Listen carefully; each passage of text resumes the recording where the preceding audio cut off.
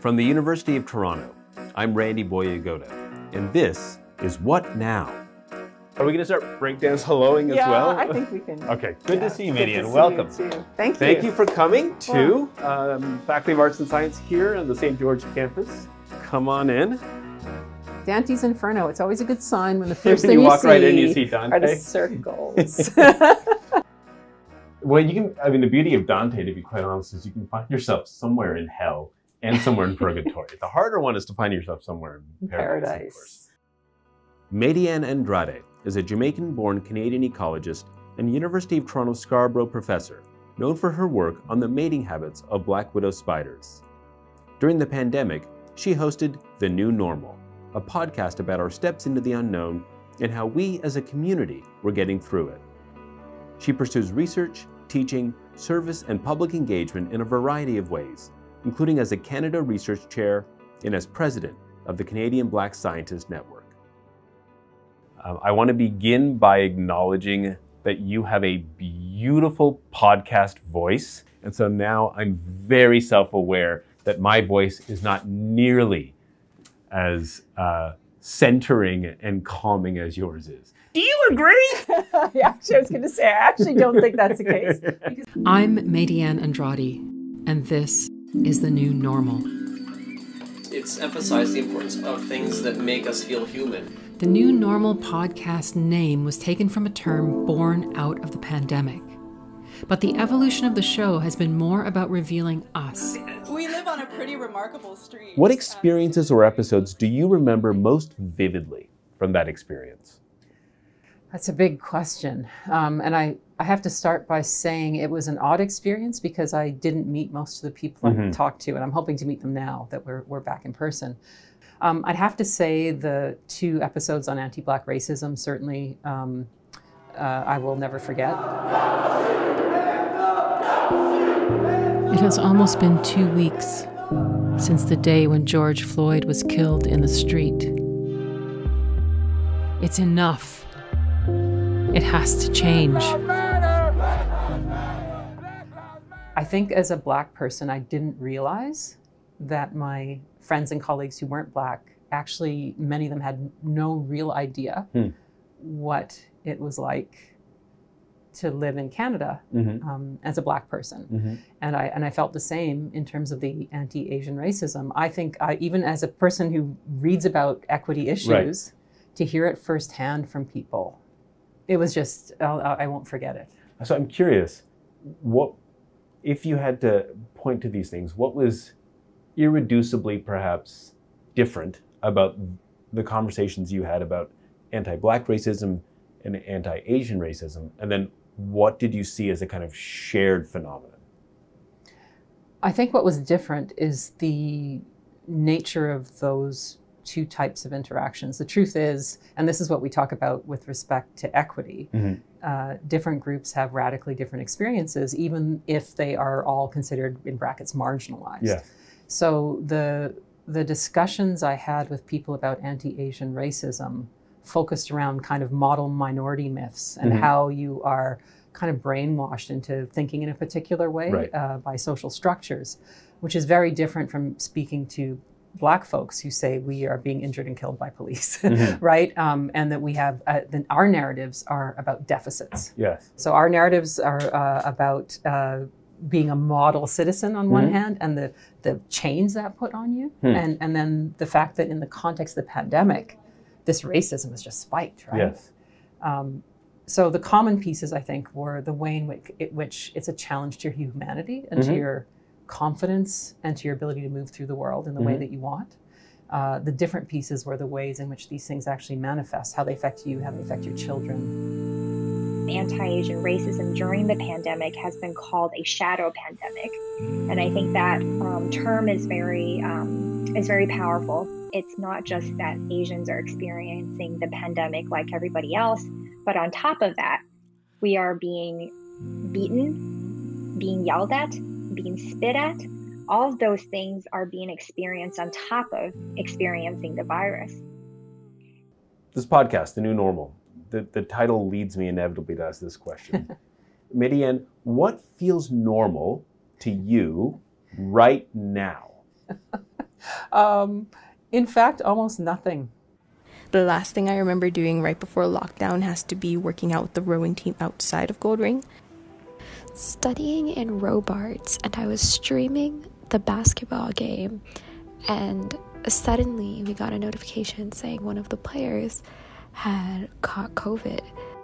The last normal thing that I remember doing is seamlessly riding public transport without constantly worrying about the fragility of life.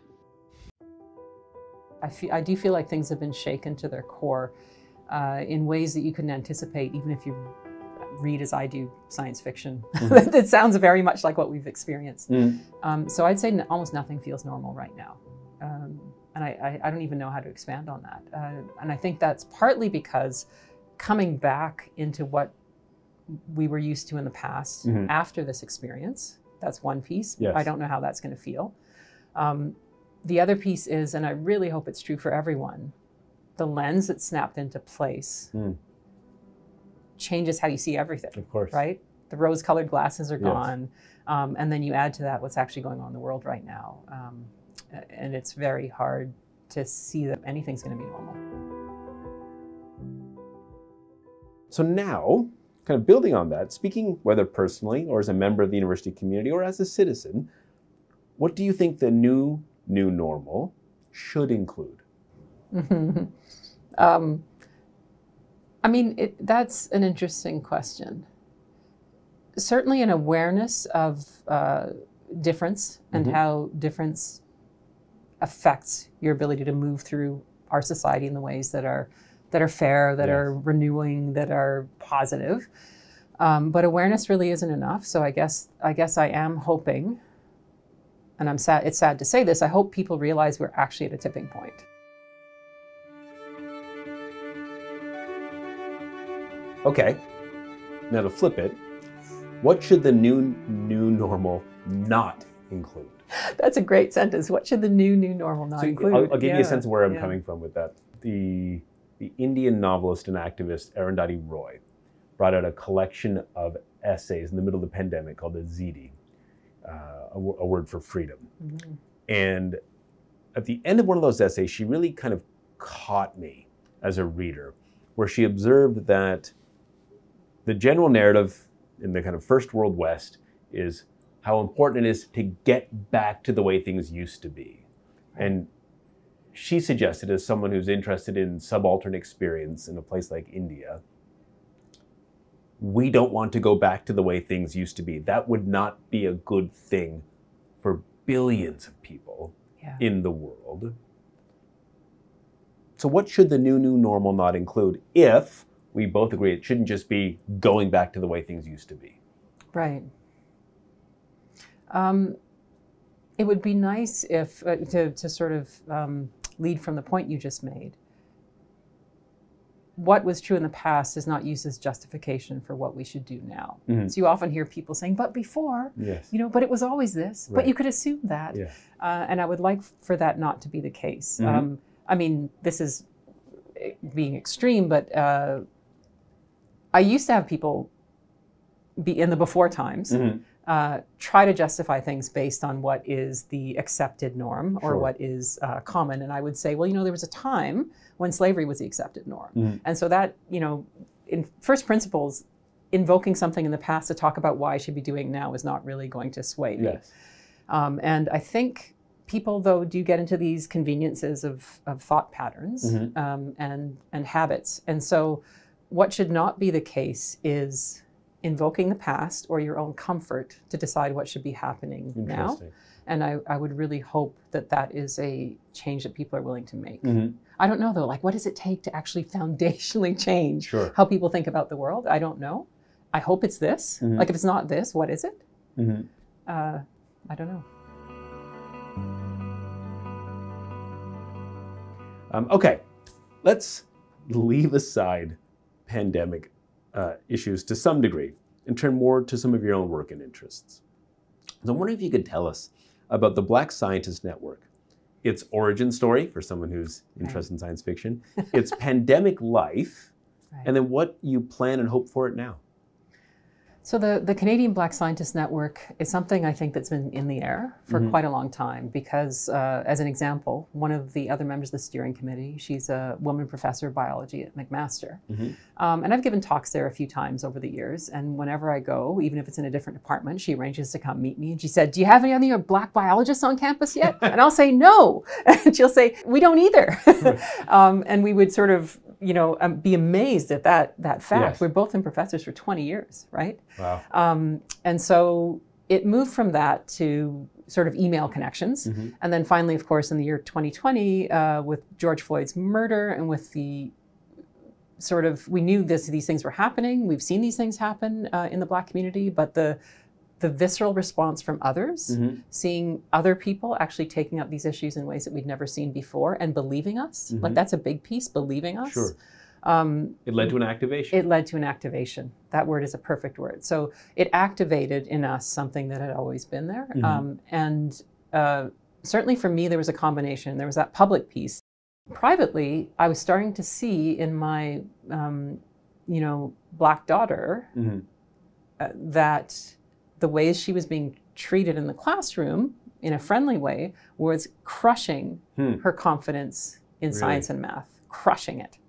And uh, my husband is actually kind of white. Benign prejudice, that kind of thing? What was yeah, it? well, um, she'd always gotten high marks in these classes. She's mm-hmm. going to kill me for saying all this. Gotten always gotten high marks. We started hearing coming out of her mouth, "Yeah, I get high marks, but I don't really get what I'm doing, and I don't really understand the problem sets. I just memorize things." And I thought, you can't memorize things in math and get high marks, but leave that aside.